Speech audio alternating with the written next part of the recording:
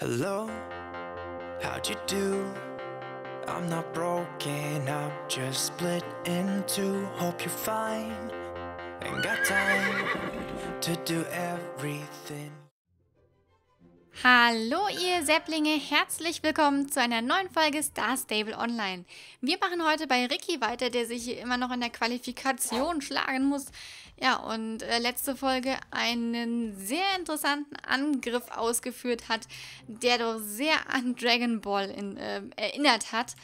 Ja, hat SSO das wirklich daher? Ich denke schon, dass das daran angelehnt ist. So, Ricky, Natalie, ich habe gewonnen. Ich bin so glücklich. Ich habe den ersten Wettkampf gewonnen. Habt ihr das gesehen? Ich werde das nie vergessen. Er hat da einfach nur gestanden, wie. Und ich war einfach. Und dann. du hast recht, Dina. Ihr beide habt genau gesehen, was ich gemacht habe. Jetzt ist nur noch ein Wettkampf übrig und wenn ich diesen gewinne, habe ich mich damit für die Bezirksmeisterschaft qualifiziert. Könnt ihr euch das vorstellen? Ich bin nur einen Kampf vom Eintritt in die Bezirksmeisterschaft entfernt. Danke, Dina, für all deine Hilfe. Das Training hat wirklich Ergebnisse gezeigt. ich bin vielleicht nicht so in Form, wie mal war, aber ich habe trotzdem gewonnen.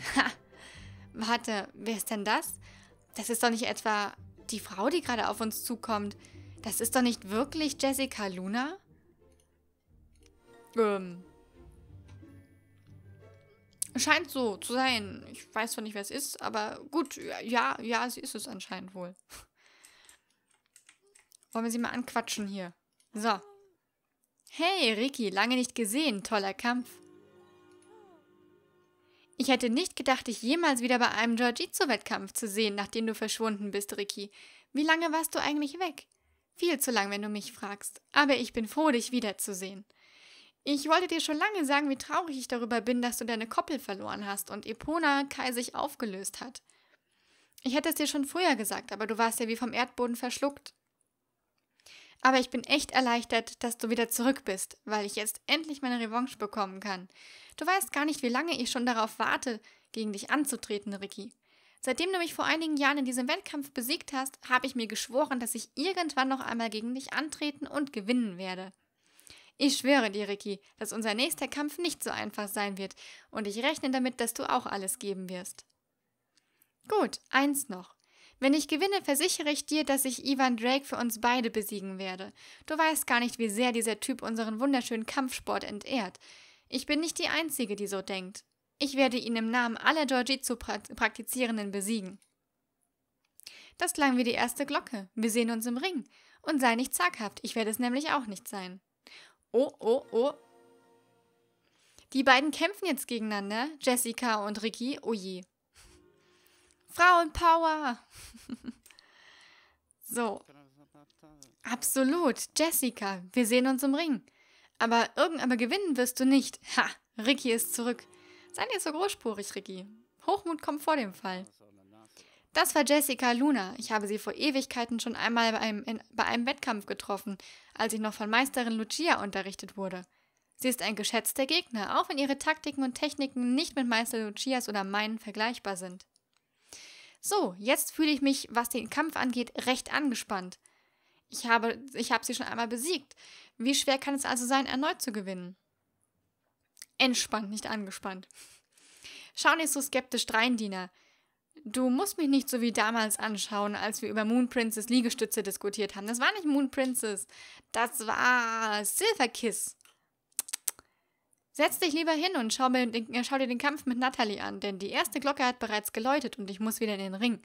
Du wirst sehen, dass Jessica kein Problem für mich sein wird. Ja, ja, Ricky. Ich glaube, ich glaube, ich glaube, du hast den Mond zu voll genommen, mein Lieber. Ich glaube nämlich, dass das sehr wohl noch ein Problemchen werden dürfte. Sie sieht recht alt aus, wenn sie hier so vor einem steht. Während Ricky doch eher jung aussieht. Ricky ist so ein Boris Becker irgendwie vom Aussehen.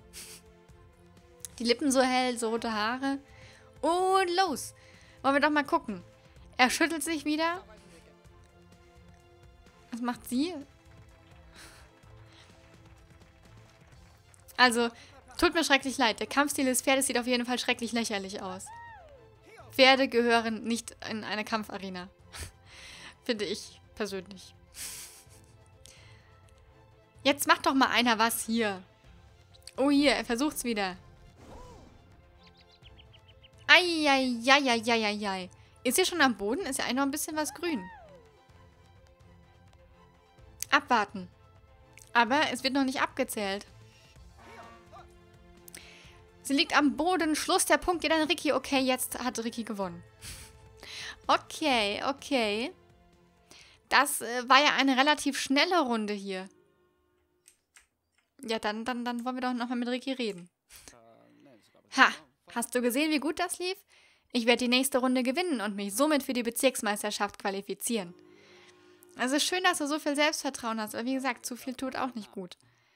Oh, das fühlt sich gut an. Du hast ja selbst gesehen, wie die erste Runde mit Jessica lief. Aber hör mal, mir läuft ganz schön die Suppe runter. Könntest du mir vielleicht mein Handtuch bringen, Dina? Wofür ich mein Handtuch brauche? Mensch, komm schon, ich kann doch nicht schweißgebadet gewinnen, oder? Was? Ich soll mir nicht so, ich soll mir nicht so selbstsicher sein? Ha, keine Sorge, Dina. Du hast es mit eigenen Augen gesehen. Ich werde den Kampf mit links gewinnen. Mein Handtuch befindet sich drüben bei der Bank, neben meiner Tasche. Wenn du meinst, wenn du meinst, ich bin da ja doch noch eher skeptisch. Aber naja, gut. Danke. Es tut gut, den Schweiß zu trocknen. Ich will gut aussehen, wenn ich gewinne. Oh, ich mag Ricky echt immer weniger. Der ist aber nicht ganz so schlimm, nicht, nicht ganz so schlimm wie Big Bonnie. ich kann es kaum glauben, Dina. Ich komme in die Bezirksmeisterschaft. Was? Ich soll den Tag nicht vor dem Abend loben? Hallo, wie negativ du plötzlich bist. Vielleicht solltest du mit den Liegestützen aufhören, genauso wie Moon Princess, weil ihr das eh nicht aushalten könnt. Pff. Bleib locker, Dina. Die erste Runde gegen Jessica lief super einfach. Ich werde die zweite Runde gegen sie auf jeden Fall auch gewinnen. Taktikbesprechung? Pff. Wir brauchen jetzt keine Besprechung, Dina. Hast du nicht gesehen, wie gut es bei mir lief? Wenn es etwas gibt, was ich brauche, dann ist es mein Handy. Oder vielmehr soll Natalie es bekommen. Was sie mit meinem Handy machen soll? Na, mich logischerweise filmen, wie ich gewinne. Was sonst? Wir müssen doch festhalten, wie ich nach einer langen Pause zurückkehre, den Boden mit meinen Gegnern aufwische und damit in die Bezirksmeisterschaft komme. Großkotz. So, könntest du dann mein Handy holen und es Natalie geben? Es sollte in meiner Tasche sein. Boah, ich will ihm überhaupt nicht mehr helfen. Warum haben wir überhaupt mit ihm trainiert? Der ist ja sowas von. Boah. So ein Hals gerade. Ähm, was? Ricky hat darum gebeten, dass ich ihn bei seinem Sieg filme? Ist er da nicht vielleicht etwas zu selbstsicher? Unsere Rede, Natalie, unsere Rede. Hm, es ist sicherlich gut, dass Ricky etwas selbstbewusster ist, aber ich stimme dir zu, Dina. Es ist nicht gut, sich zu selbstsicher zu sein. Er hat den Kampf noch nicht gewonnen. Aber es stimmt, wir müssen ihn weiterhin unterstützen, ganz egal, wie es ausgeht.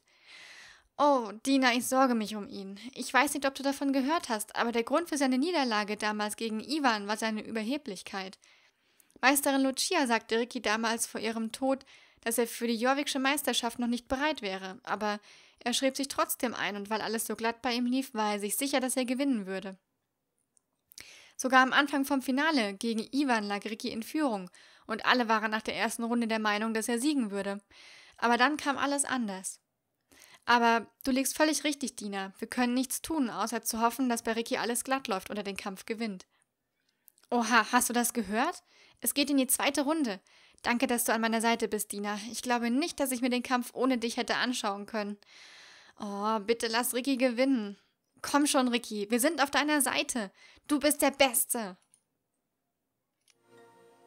Nein. Jessica! Jessica! Ich mag überhebliche Leute nicht. Ist nicht so. Nicht so meins. Jetzt bin ich mal gespannt. Jetzt bin ich doch mal gespannt hier. Schüttel deinen Speck, hätte ich was gesagt. Schüttel deine Haare. So, hier. Und, was passiert diesmal?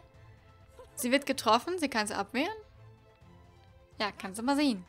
Jessica hat eine perfekte Abwehr gegen, gegen Rickys entsetzliche Ausmistentechnik. Ach, das ist die Ausmistentechnik. Ich müsste demnächst auch eine Box aus mit Kamehameha. Wow, ja, ja, Ricky. Ne? Reiß dich mal zusammen hier, Mister. Ja, jetzt wird er nämlich getroffen. Platsch, und da liegt er. Da sitzt er, auf dem Hintern. Auf dem Boden der Tatsachen. Auf den Brettern, die die Welt bedeuten. Ricky liegt am Boden. Schluss, Punkt für Jessica. 1 zu 1. Tja, mein lieber Ricky. Hast du nur davon? Ich gönn's dir. Au, was ist passiert? Wie konnte sie so schnell und stark zurückkehren? Ich war mir sicher, dass ich gewinne. Wenn sie in der nächsten Runde genauso ist, werde ich keine Chance haben. Ja, hättest du dir mal vorher überlegen sollen, mein Guter. Oh, oh Dina, hast du gesehen, was passiert ist? Oh, Wie konnte ich verlieren? Es lief doch so gut. Das kann nicht wahr sein. Vielleicht bringst du Ricky etwas Wasser, während er seine Niederlage verarbeitet. Ja, komm. Holen wir mal das Wasser. Zack. Tja, tja, tja. Ähm, Wasser? Danke, Dina. Puh. Danke, Dina. Ich muss etwas trinken. Aber ich verstehe es einfach nicht, wie ich verlieren konnte. Alles lief so gut. Und was soll ich jetzt machen? Die Glocke läutet bald und Jessica und ich liegen gleich auf. Sie muss einfach nur die nächste Runde gewinnen, um den gesamten Wettkampf zu gewinnen. Was meinst du, Dina? Der Kampf ist noch nicht verloren? Du hast doch gesehen, wie gut Jessica war. Du hast eine Idee, wie ich gewinnen kann? Erzähl! Du willst eine neue Taktik besprechen? Hm. Ja, es lief das letzte Mal ja ganz gut. Okay, ich höre. Sag mir, was ich machen soll, Trainer. Aha, das ist das, was ich hören will. Nicht, dass ich der Trainer bin, aber dass er mal nicht unbedingt alles auf eigene Faust entscheidet. Okay, Trainer, was, wie, wie sollen wir das machen? Versuch als defensiv, versuch's, wir haben nichts zu verlieren, mach das, was sich richtig anfühlt. Ich würde wieder das sagen, das ist immer gut. Er vertraut wieder unserem Urteilsvermögen, ich hoffe, es ist wieder das Richtige.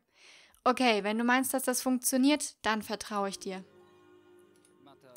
Nein, jetzt ertönt das erste Signal. Ich muss zurück in den Ring, aber ich werde das machen, was du mir gesagt hast. Ich werde mein Bestes geben, Dina. Ich verspreche es. Richtig, ich muss positiv denken. Ich muss an mich glauben, denn ich will gewinnen.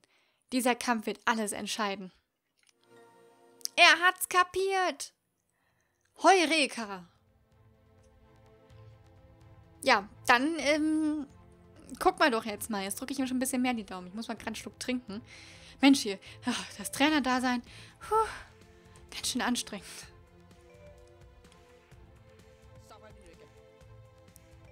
Und auf in die nächste Runde. Und los, let's get ready to rumble. Ich hab's ja gestern schon gesagt, ich kann das nicht. Ja nu. Ja nu, ja wat, ja wie? Wie sieht's aus? Hat Ricky das abgewehrt? Wow, was eine tolle Anwendung der Bürstentechnik. Und war es wieder das Ausmisten? Oh, das ging schnell. Gut, ja, dann, äh, yay! Wir haben einen Gewinner! Es ist Ricky! Okay, jetzt bin ich doch mal gespannt. Damit hätte er sich ja jetzt für die Bezirksmeisterschaft qualifiziert. Wo ist er denn? Da steht er. So, Ricky. Ich kann es nicht glauben. Ich habe gewonnen.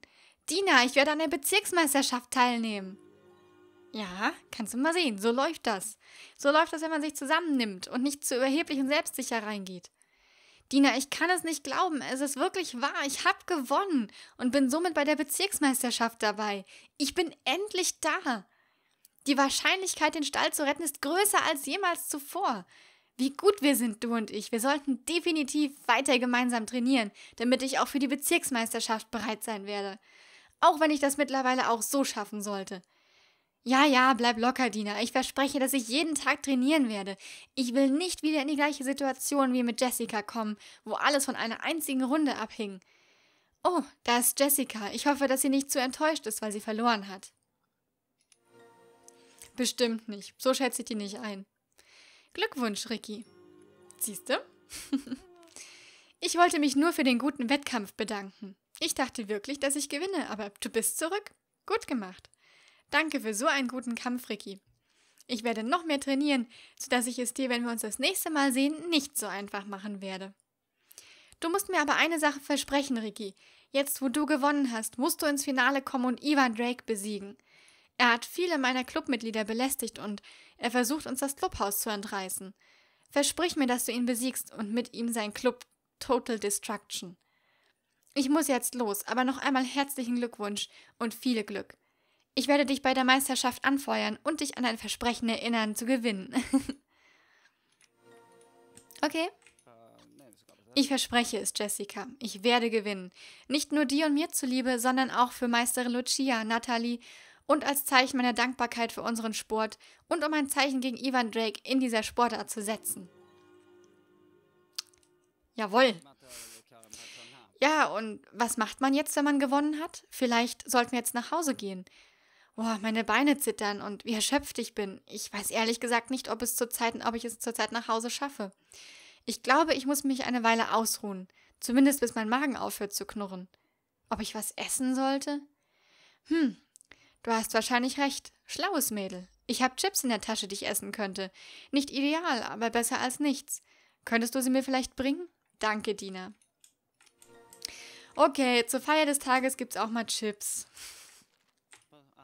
Lecker, lecker, lecker. Das war gut. Ich weiß nicht, wie lange das noch geht. Ich will jetzt nicht für so ein bisschen dann noch eine neue Folge anfangen. Du lagst mal wieder richtig, Dina. Ich muss einfach, musste einfach nur was essen.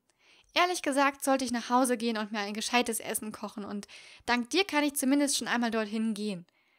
Oh nein, ist das Ivan, der da gerade auf uns zukommt? Oh. Fragt sich, was er jetzt schon wieder will. Oh Gott, wie so ein aufgepumpter Affe.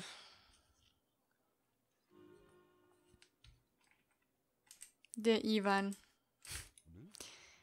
Ich muss sagen, du hattest richtig Glück, kleiner Trotteliger Ricky. Boah, wie gemein der ist. Gut, ihr Lieben, ich würde aber fast sagen, ich weiß nicht, wie lange das hier jetzt heute noch dauert oder generell die Quest noch dauert. Das kann natürlich, ich denke mal, wir sind jetzt kurz vorm Ende, dann werde ich wahrscheinlich wirklich die nächste Folge anfangen und ähm, dann quasi für nichts nochmal eine neue, eine neue Aufnahme starten. Aber gut, das ist dann halt so. Ähm, es war heute eine erfolgreiche Folge, würde ich sagen. Wir haben Ricky durch die, hier durch die Qualifikation durchgebracht. Er hat es geschafft, er ist bei der Bezirksmeisterschaft, er hat sich qualifiziert. Morgen kommt dann die Postfolge und natürlich auch die Update-News und dann gucken wir mal, wie es am Donnerstag weitergeht. Ich denke mal, es dürften ja bestimmt nochmal neue Quests reinkommen. Also, Lieben, ich verabschiede mich und wir hören uns morgen wieder. Tschüss!